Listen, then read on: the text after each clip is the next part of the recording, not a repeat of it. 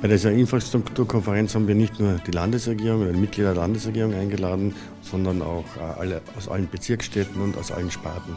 Hier gilt es auf der einen Seite, einen Überblick der Landesregierung an unsere Unternehmerinnen und Unternehmer zu geben, was ist geplant. Und Infrastruktur schöpft sich ja nicht nur Straße, Schiene und Flughafen oder Radwege, sondern Infrastruktur ist natürlich Bildungsinfrastruktur, äh, Krankenhausinfrastruktur und andere Themen. Und auf der anderen Seite der Politik auch direkt die Möglichkeit zu geben, ähm, mit Wünschen, Begehrlichkeiten, Themen, die sie sonst kaum einmal mitbekommen, in einer vernünftigen Form einer Diskussion mitzugeben, um auf die Sensibilität für viele Themen auch deutlich zu erhöhen und auch die langfristige Strategie zu diskutieren.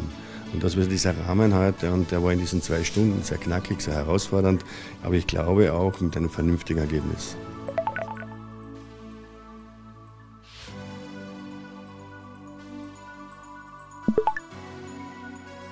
Sehr positive. Es ist immer wichtig, dass die Verantwortungsträger im Land, und wir waren heute vier Regierungsmitglieder präsent, und die Unternehmungen, die Verantwortung in ihren Branchen tragen, zusammenkommen und auch die Bedürfnisse austauschen. Ich konnte informieren in meiner Funktion als Landeshauptmann, dass wir insgesamt in den letzten beiden Jahren zwischen 927 und 972 äh, Millionen Euro in Infrastrukturmaßnahmen investiert haben, dass diese Infrastruktur neben den traditionellen Bereichen der Verkehrswege, der Einrichtungen der Pauten natürlich auch Bildungsbereiche, beispielsweise das Kinderstipendium, elementarpädagogische Einrichtungen, Schulbaufonds, tertiäre Bildungseinrichtungen betreffen, ist sehr positiv aufgenommen worden. Und wenn wir das alles subsumieren, dann bietet das Land Kärnten eigentlich für all jene, die egal ob als Arbeitnehmerinnen, Arbeitnehmer, Unternehmungen tätig sind, eigentlich sehr viele Voraussetzungen.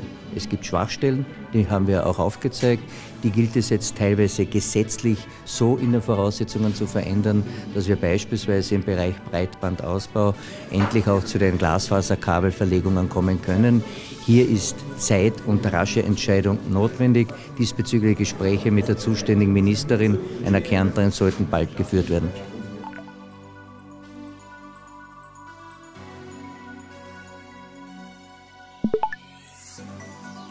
Natürlich vor allem in meinem Zuständigkeitsbereich als Straßen- und Brückenbaureferent des Landes Kärnten geht es natürlich um die ganz analoge äh, Verbindung zwischen Orten äh, und Wirtschaftsräumen, nämlich das äh, Landesstraßennetz, wo wir jetzt das erste Mal in einem Jahrzehnt das höchste Bauvolumen umsetzen können, was bis jetzt eigentlich möglich war. Das sind 35 Millionen Euro, die wir im Rahmen eines Bestbieterprinzips natürlich vor allem auch an regionale Baufirmen vergeben können, was natürlich regionale Wertschöpfung bedeutet und auch Arbeitsplätze vor Ort. Und da müssen wir massiv auch zukünftig noch Wert drauf legen. Denn diese grundlegende Infrastruktur ist nicht nur für die Wirtschaft ganz entscheidend, sondern für die gesamte Kärntner Bevölkerung. Es geht darum, von A nach B zu, bekommen, äh, zu kommen, äh, die Gesundheitsversorgung stattfinden zu lassen, Bildung. Äh, man muss halt eben von A nach B kommen und deshalb auch das so entscheidend, äh, dass wir in diesem Bereich investieren, was wir auch als Regierungskoalition machen. Natürlich gibt es noch viele weitere Bereiche, auch jetzt im Rahmen des neuen Standortmarketings, wo wir ein ganzes Bundesland ausrichten. Ähm, das wollen wir jetzt auch herunterbrechen auf die Kärntner Regionen, auf die etwas peripheren Gebiete und vor allem eine Verschneidung zustande zu bringen mit dem Zentralraum, mit den etwas urbaneren Räumen bei uns in Kärnten, sodass alle Landesteile auch davon profitieren können.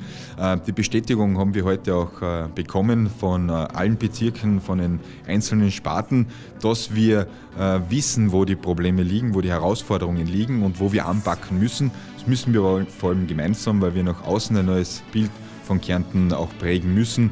Ähm, auch mit dem Slogan, über den man natürlich vortrefflich diskutieren kann, Kärnten, it's my life. Aber wir wollen Wertschöpfung generieren, wir wollen Ansiedelungen zustande bringen, vor allem auch der demografischen Entwicklung in Kärnten entgegenwirken.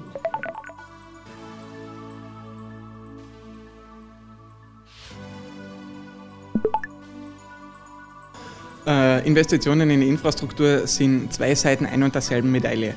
Auf der einen Seite können wir damit natürlich eine gewisse Konjunkturstütze bieten, die insbesondere in Zeiten international leicht eintrübender Konjunktur besonders wichtig ist. Auf der anderen Seite ist eine moderne Infrastruktur natürlich für das Image und somit für den Wirtschaftsstandort Kärnten von großer Bedeutung. Deswegen bin ich der Meinung, dass Investitionen in die Infrastruktur absolut das Gebot der Stunde für unser Bundesland sind.